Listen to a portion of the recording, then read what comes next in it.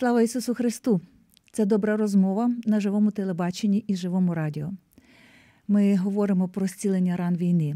Зцілення ран війни це те, що відчуває, вочевидь, кожен із нас, той, хто проживає цю повномасштабну війну, і той, хто знає, що таке війна не з 2022 року, а ще раніше. Адже насправді війна в Україні триває вже 11 з лишком років.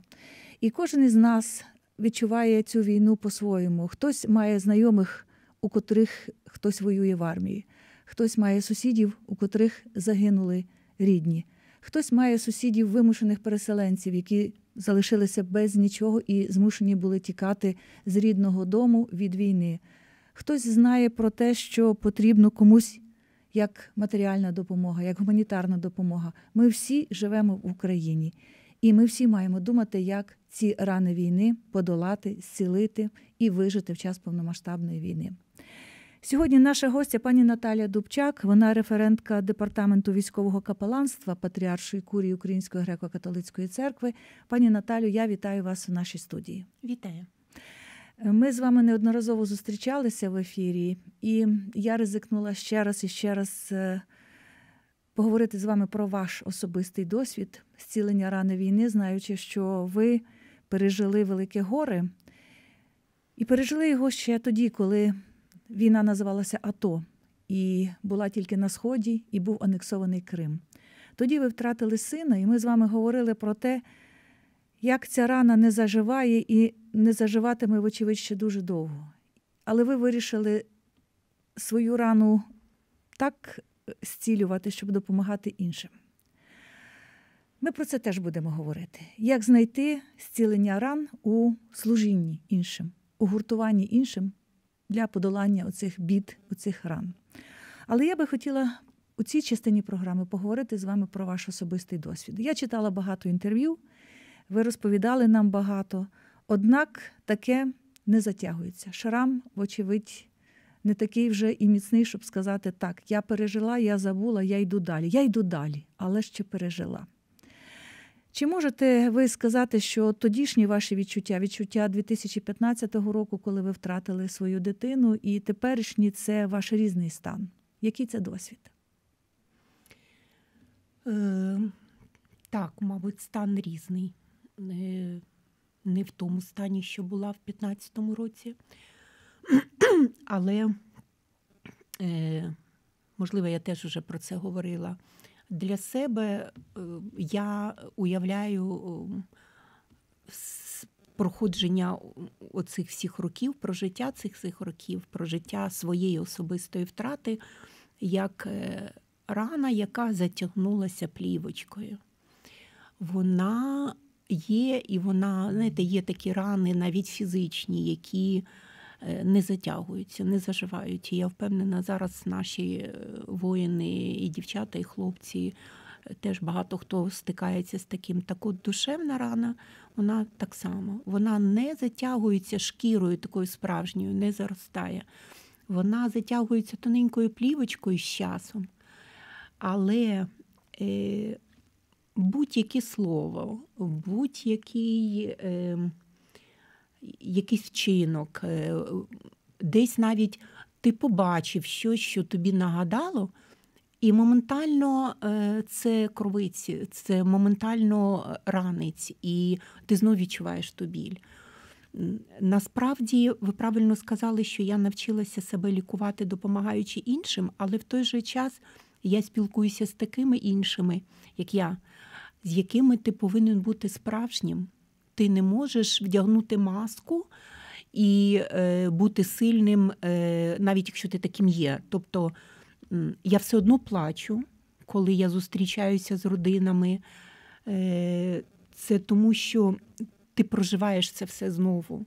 Ти ти проходиш це все знову, ти згадуєш, і е, це не ну, це так виходить. Мені здається, ну, можливо, є є такі е, сильніші ще за мене люди, хоча я вважаю, що я досить сильна особистість, але тим не менш. Е, рана відкрита постійно. І скільки б мені здається, років не пройшло, і скільки б у матері не було дітей, е, ця втрата того єдиного. Зазвичай найкращий, найсвітліший, найдобріший, найрідніший. Це це завжди буде боліти. Угу. Завжди. Пані Наталю, часто люди, коли опиняються в такій ситуації, в якій опинилися і ви в 2015-му, вони е, стають схожими на малих дітей, які борсуються в ополонці. Вони не знають, за що вчепитися і не знають. Е, ну, До кого прихилитися, а буває така ситуація, що найближчі люди просто не здатні е, реагувати так, аби людину підтримати. Тобто, якісь є, ну як би це сказати, неналагоджений конфлікт. Неналагоджений контакт. Люди не можуть знайти спільної мови. Чи була у вас така ситуація, як ви з цього вийшли? Богу дякувати, в мене таких ситуацій не було. Скажу чесно, мене витягнули і на той момент підставили плече. Це син і невістка, інший син. Е, в мене ще є Павло, син і невістка. Вони були завжди поруч, хоч ми жили окремо, але приїжджали практично кожен день або по черзі. Я дуже запам'ятала, бо мало що пам'ятаю з того часу, кажу чесно, особливо перший місяць, другий, третій. От ну, щось таке детально не, не пригадаю. Але дуже добре пам'ятаю, що вихідні, бо вони працювали, і в вихідні вони постійно мене, мене як ото кажуть, тягали за собою. Mm-hmm. Вони постійно мене кругом брали. Молодіжні їхні зустрічі з друзями. З друзями Сашко загинув вже в лютому. І якраз там перший місяць зрозуміло, я я так розумію, взагалі не, не дуже десь піднімалась кудись виходити, але. Пам'ятаю, що вже було тепленько, тобто це вже десь, скоріш всього, був березень, е, квітень. Отак, от і я пам'ятаю, що постійно в вихідні я з ними ходила. Десь каву пити. Ми ж живемо в Бучі і виїжджала в Київ. Тобто я рухалась, бо так ще трапилось. На жаль, що напередодні е, в кінці 2014 року я звільнилась з роботи. Тобто я працювала в музеї історії міста Києва, і там були певні так обставини, склались. Я вирішила звільнитися і пересидіти зиму вдома. Е, вже тоді я допомагала департаменту військового капеланства. У цю Любомиру був ярмарок, пам'ятаю, Різдвяний на Софіївській площі. Там був наш будиночок. Я допомагала там торгувати в тому будиночку. Тобто я була зайнята. Угу. І я собі так вирішила, що я зиму перебуду, підшукаю щось гідну роботу знову, і на весну я піду працювати. І оцей момент, що Сашко загинув, я не працювала. Я на той момент жила одна він дуже-дуже мене підкосив і дуже був важкий. Тому ви правильно кажете, що е, хтось має бути поруч.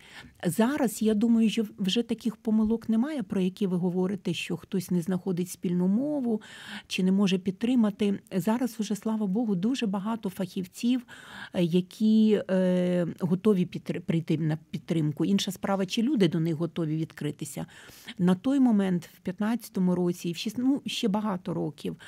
Ми, Я завжди кажу, коли зустрічаюсь з новими родинами, як я їх називаю свіжими після 22-го року. Так. Я кажу: знаєте, ми були як той Мюнхгаузен. Ми самі себе витягували так, нас ніхто не витягував.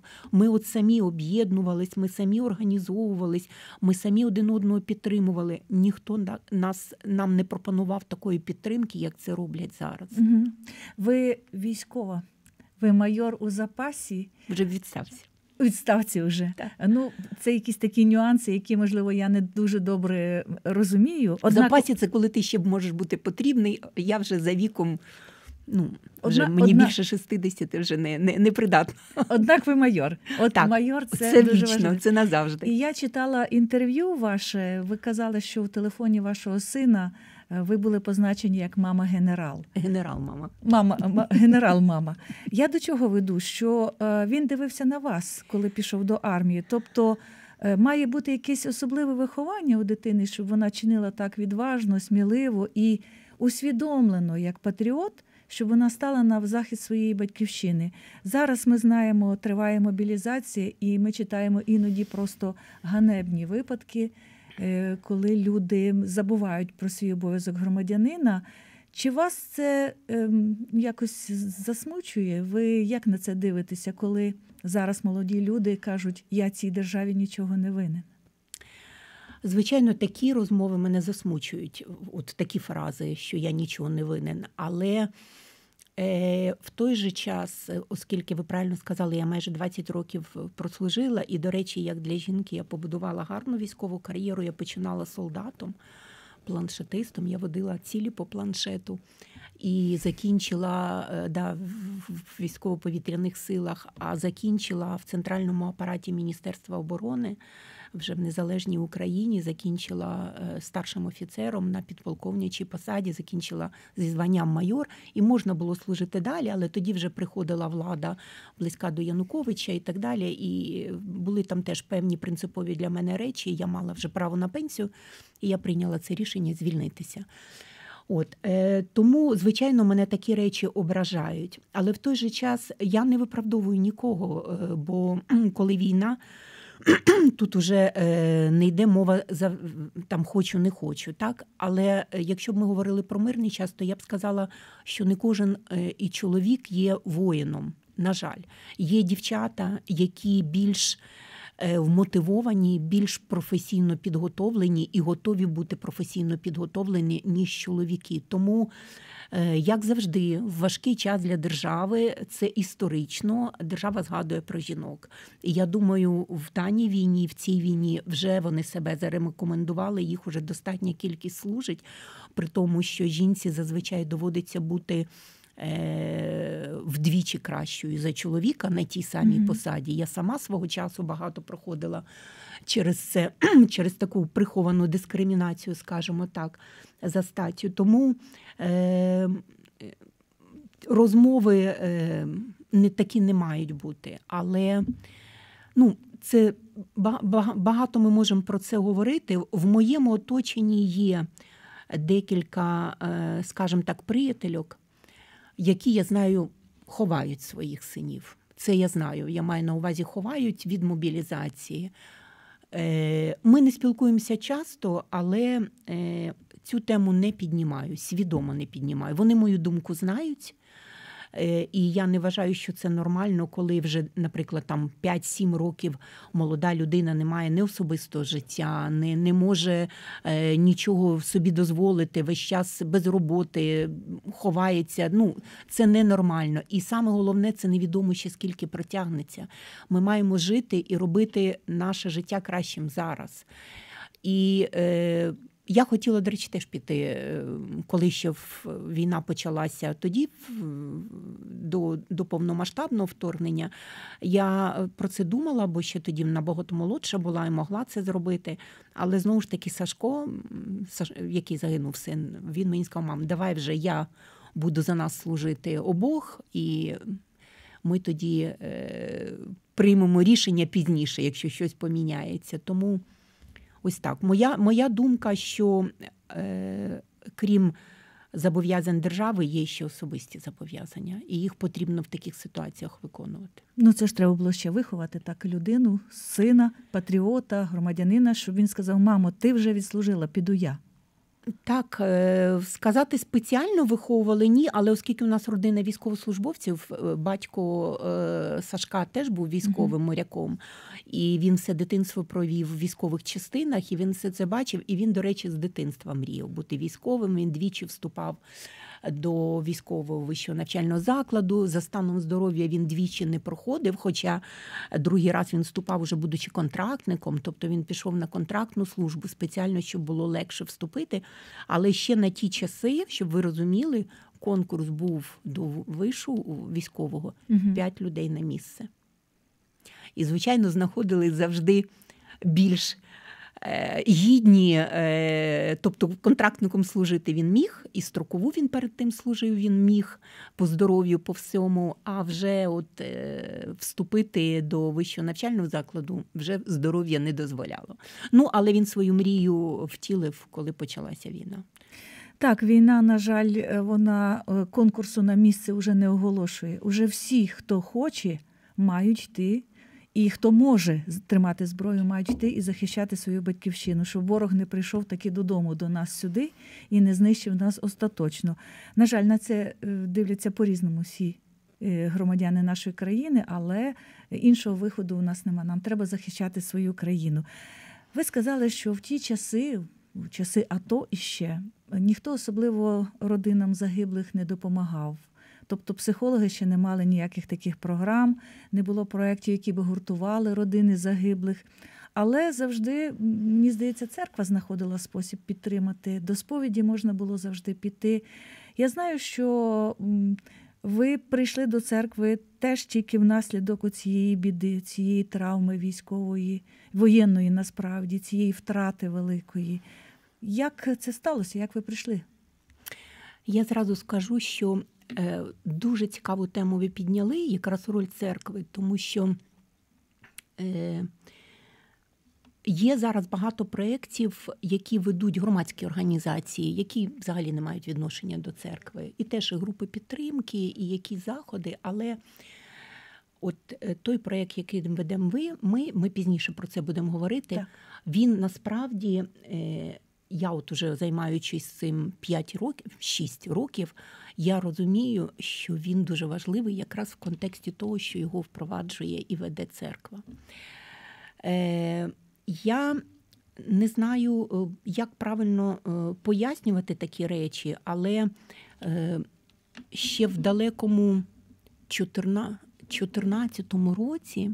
Я ще не працювала в департаменті військового капеланства, але пан Олександр Мельник, який зараз є директором фонду архістратига Михаїла, моїм безпосереднім керівником, він вже тоді працював з отцем Любомиром, і я дуже добре запам'ятала, що Сашко був живий. Mm-hmm. Перший е, Миколай е, в 14-му в грудні, і ми збирали списки загиблих.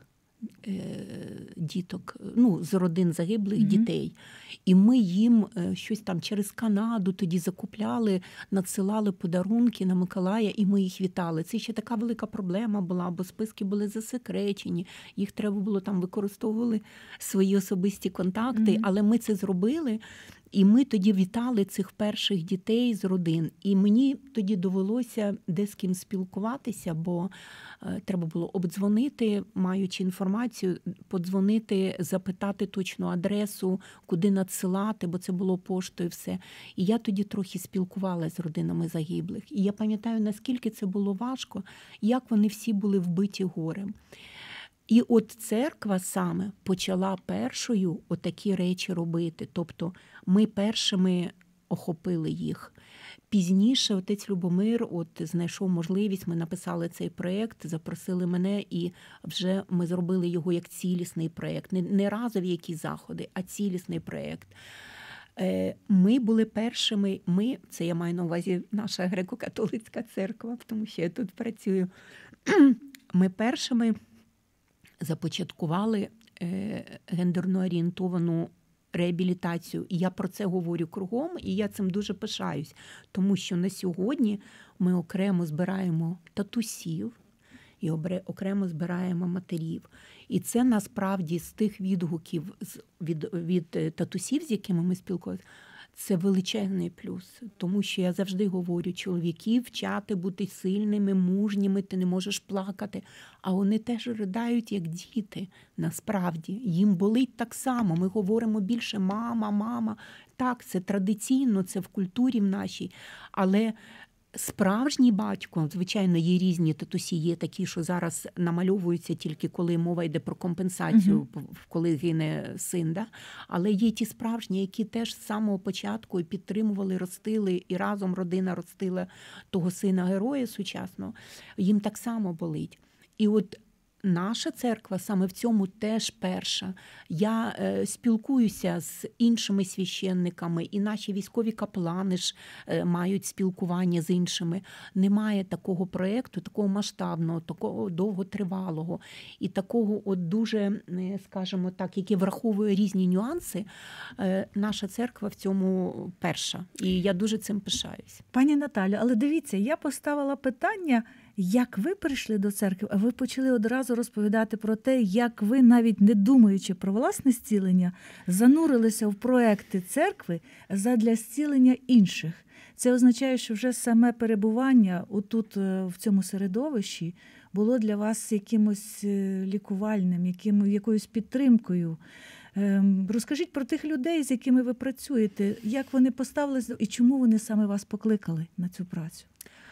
Ну, я вже згадувала Олександра Мельника. Е, він, знаєте, такий в хорошому розумінні янгол-охоронець по життю. Так, Бо... я розумію. У нас надзвичайно емоційна розмова, тому що розмова про втрати і про рани, вона е, вона завжди ем, така, вона пробиває на сльозу, як кажуть. Але ну, про це треба говорити. Можливо, навіть для того, аби чийсь досвід став помічним для когось, хто нас дивиться і слухає. Дякую. Дякую. Е, просто дуже багато прожито разом. Е, я ще починала познайомила з Олександром Івановичем, коли прийшла служити е, в управління виховної роботи в Міністерстві оборони. Він був тоді моїм керівником. Теж багато різних речей, таких хороших робили в війську. І потім доля нас розвела. І, до речі, е, теж коли коли ми з вами, до речі, говорили про прожиття власної втрати, я теж про це часто говорю, але повторюся, що е, люди, які поруч, вони повинні не боятися бути поруч. Е, можна не говорити, але просто десь там на другому плані постійно бути. Тому що в ті часи е, зараз я надіюсь, це вже помінялося. І я повторюю, повторюю, що є і багато організацій, які поруч, які готові підтримати. А тоді ти лишався сам на сам. І е, в моєму середовищі помінялось 80% друзів і і, і спілкування. Mm-hmm. І зараз зовсім інші люди. І це 80% це зазвичай ті, такі як я, з якими можна не говорити, які тебе з півслова розуміють, і так далі. Е, Так от. Е, Колеги теж тоді зникли якось з мого з мого середовища спілкування. І ми вже зійшлися і знов зустрілися пізніше. І е, Олександр Іванович познайомив мене з отцем Любомиром. І я повторюся, що коли була можливість вже якісь е, робити з фінансовою підтримкою заходи, вони мене запросили, і я почала цим займатися. Ми тоді написали проєкт. Це був перший проєкт з родинами загиблих. Він більше був орієнтований на мам.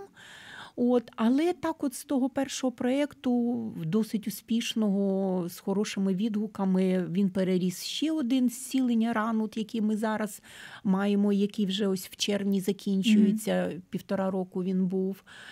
Е, Дуже розраховую, що він продовжиться, оскільки. Навіть е, в психології є такий термін ретравма. Тобто 22-й рік він навіть тих, хто був вже досить зцілений, якщо так говорити такими термінами, так трошки він... заспокоєний, може так. Так, так. Він повернув їх в той стан. По собі кажу, я теж весь час про це говорю, і може, ми вже з вами на це спілкувались. Зважаючи себе досить сильною особистістю, я тоді просто згубилася. Я згубилася, я сховалася в новому роздолі отця Ростислава Височана. Я два тижні не могла нічого робити, не могла ні про що думати. Я навіть не могла будувати плани. Я виїхала з Бучі з рюкзачком і і все залишила, все життя, і і я була в шоці, тому що я вже якось, начебто, навчилася з цим всім жити. Вже достатньо часу пройшло, і тут бабах мене все повернуло в той стан, в який я був, в якому я була тоді. Ви сказали про Бучу, я також приберігала це питання, тому що це е, той момент, коли війна тебе наздоганяє, коли ти вже, як ви і сказали, начебто пережила одну втрату, начебто почала трошечки якось зарубцьовуватись вона ця рана, і тоді приходить війна. І ви змушені були тікати від неї. Е, скажіть, будь ласка, коли ви повернулися в Бучу, це теж була для вас рана, як ви побачили своє містечко? Е, Буча ще й досі е, вже тепер місцями, особливо от коли зелені багато, так воно вже кидається дуже, бо тоді більше було цього всього чорного. Зараз вже досить відбудована буча, особливо в порівнянні з Ірпіньом. Але моя мене, мене ще й вулиця вокзальна. Якщо хтось mm-hmm. слідкував за подіями в Бучі, я живу біля самого жирафа, тому що жираф, е, торговий центр, знаходиться на межі Ірпіня і Бучі, його розділяє міст, і от за мостом живу зразу я. І, і оці цей жираф всі... це були найбільші бої. Так, Там і, було все спало. Да, І це була е, якраз у той бій, такий самий перший страшний, коли кадирівці колоною йшли на Київ, і їх якраз на рівні жирафа зупинили. Наші е, добровольчі підрозділи спільно з Збройними силами. Їх тоді обстріляли, дуже добре накрили. Але тоді якраз моя вокзальна найбільше й постраждала. Тоді багато будинків вигоріли, вони зараз відбудовані. Мій будинок, я завжди кажу, в мене якраз от янгол-охоронець був. Е, Будинок без вікон, без дверей все вибито на розпашку, але стіни лишилися, дах мені поміняли, будинок почистили, обшили, пофарбували. Вікна я сама поставила, бо ну, не було можливості чекати вже осінь, потім починалася, холодно було. Е, І зараз він гарненький, такий, знаєте, як Фенікс е, відбудувався. Mm-hmm. От, Але е, важко. Кіцьку було дуже жаль. Ми, на жаль, я її не змогла. Ну, я не переживала, тому що вона не була домашньою. Приватний будинок, вона в мене більше на дворі жила. Вона мишок носила, годувала. Е, годувалася, тому вона вижила. І там потім в мене колега залишилася, я її просила, вона її підгодовувала, коли вже була можливість. От, е, А так е, насправді це диво, що будинок вцілів. Це диво. Ну і на завершення цієї частини розмови з нашою гостею я би хотіла, ну, якщо можна, певні підсумки підбити. Що людині допомагає в цей кризовий час на вашому досвіді, на вашому прикладі? Спілкування з рідними, е, робота задля когось, допомога комусь, молитва. Тепер, уже переживши стільки часу в війні, переживши цю втрату сина, що ви можете сказати? Тим, хто нас слухає і ще шукає цих відповідей на ці питання. А ви знаєте, от все, що ви перерахували, все може бути отою віддушинкою, яка тебе буде витягувати з стану, який ти проживаєш. Ми так само, як фізичний біль, душевний, ми його так само по-різному переживаємо. Да, Хтось тільки пальчика порізав, йому вже так болить, що криком кричить.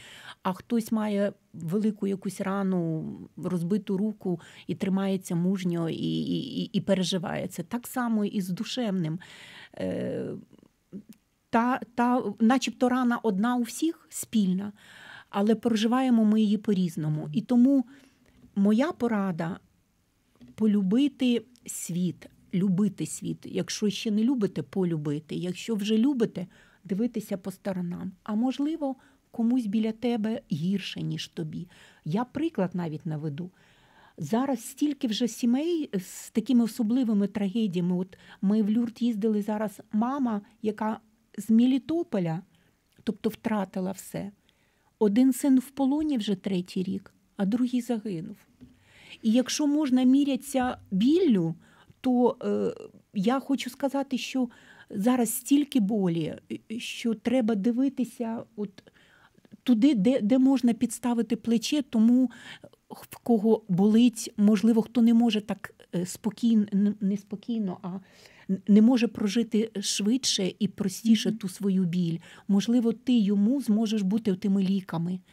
І і я б все бачила місію, і я бачу, що наші мами до 22-го року вони є таким, знаєте, прикладом, таким промінчиком, коли у нас спільні заходи, і приходять свіжі мами, вони на нас дивляться і вони орієнтуються, кажуть, ой, я що через 10 років і я такою зможу бути. Розумієте? Тобто, все, що ви сказали, воно все підходить любити онуків, незважаючи ні на що, стосунки налагоджувати з невістками, е, жити повноцінним життям, десь почати щось вчити нове, виходити з зони комфорту. Оце головне. Кожен день, я кажу всім родинам, ви робите подвиг. Ви вранці робите подвиг, коли ви з кроваті встаєте, з ліжка встаєте, і перший крок робите на підлогу. Ви робите подвиг, тому що можна лежати цілий день в тому ліжку і нічого не робити взагалі. Ну, але користі від того не буде ані самій людині, яка страждає, ані спільноті, яка її оточує, ані країні загалом. Тому наша гостя має позицію чітку. Свій біль треба перемагати за рахунок того, що допомагати іншому. І це ми сьогодні у цій розмові, мені здається, чітко зрозуміли. Стежте за анонсами. Ми плануємо ще одну розмову з нашою гостею, пані Наталією Дубчак, референткою департаменту військового капеланства Патріаршої курії Української греко-католицької церкви, у якій уже поговоримо про ті проекти, якими вона займається, і які власне спрямовані від Української греко-католицької церкви на зцілення ран війни. Розмову вела Галина Бабій.